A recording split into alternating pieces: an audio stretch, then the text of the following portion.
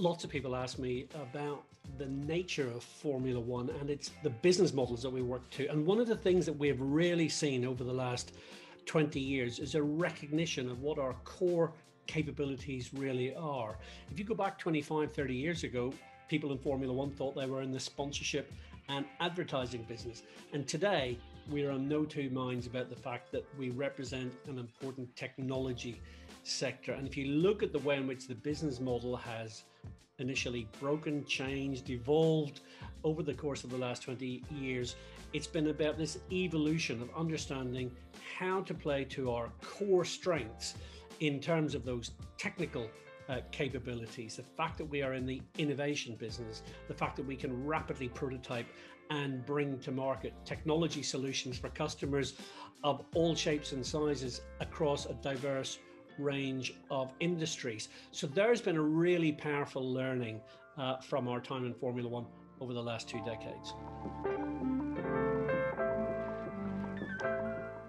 If you think about the 90% of people in a Formula One team who don't travel to the races, they work back at the factory. There's where we really have to, to make sure we have alignment, where everyone sees what the strategy of the business is and contributes towards that. And there's a very simple truth about teamwork. If you have infighting in an organization, if you have tension, people pulling in different directions, you're not going to get the kind of outcomes that you can unlock through achieving world class teamwork and collaboration.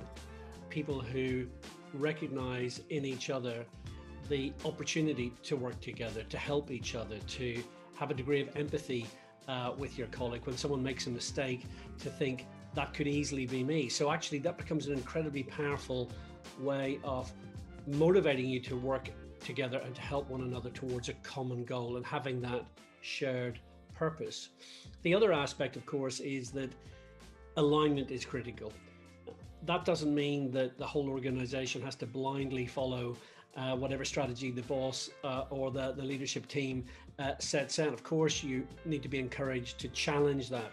But once the strategy is defined, it's so important that there is alignment behind that, that everyone is pulling in the same direction. Because if you don't get that uh, shared purpose, if you don't get that, that alignment, it becomes incredibly difficult to achieve those ambitious goals that you will have as an organization.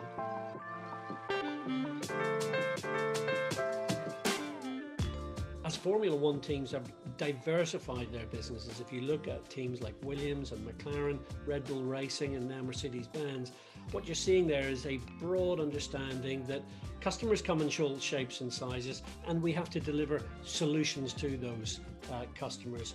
And that diversification means that within the organization, the leadership teams have had to make sure that everyone understands the vision of the business, why we're going to be doing business in a certain way, the types of customers that we're going to be servicing. That in the Williams Formula One team, you might find yourself working on a project for a supermarket chain, or in the Mercedes Benz Formula One team, you might be seconded to working on a project such as the America's Cup uh, program, or working on the cycle racing program, or at Red Bull Racing, working with Aston Martin on producing a hypercar, sports car. So the reality is that it's so important for a leadership team to communicate what the strategy for the business is, why things are evolving, and to keep the whole team on board with that program. Because that way you have certainty, you have motivation, and you have shared ambition for what the business is aiming to achieve.